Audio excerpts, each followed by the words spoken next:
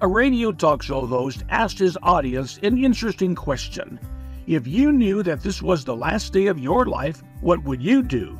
The responses were overwhelming and most enlightening. The first caller said, I'd hurry to an organ donor bank and make sure that some worthy persons would benefit from my body parts. Another said, I would crowd everything that I thought was fun into this, my last day. I'd want to go out laughing. The third caller said, I would phone all of my friends and tell them how much I appreciated all that they had done for me. I'd want each of them to know how much our friendship had meant.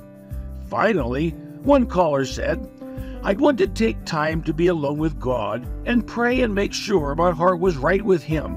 I'd want Him to know how much I was looking forward to meeting His Son, my Savior. Beloved, how can we be sure our heart is right with God? In Acts 17:30, Paul told the men of Athens, and he is telling us today what we must do. He said, "The times of ignorance God overlooked, but now he commands all people everywhere to repent." Jesus also said in Luke 13:5, "I tell you, but unless you repent, you will all likewise perish." The message of repentance has always been the heart cry of God to all people. First, Confess your sins to the Lord. This means you agree with God that you are a sinner and in need of His mercy. Then, intentionally turn from your lifestyle of sin and turn to the life God wants you to live.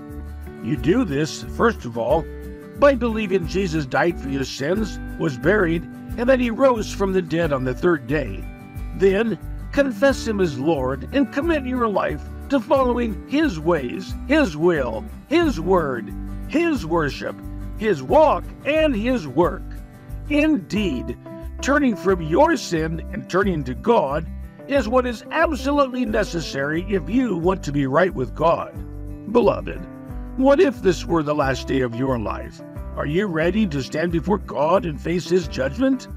Do today what you will be thankful for all eternity that you did. Repent and be gloriously saved. This is Laine Wilder for Carry the Light Ministries bringing you insights from an elder.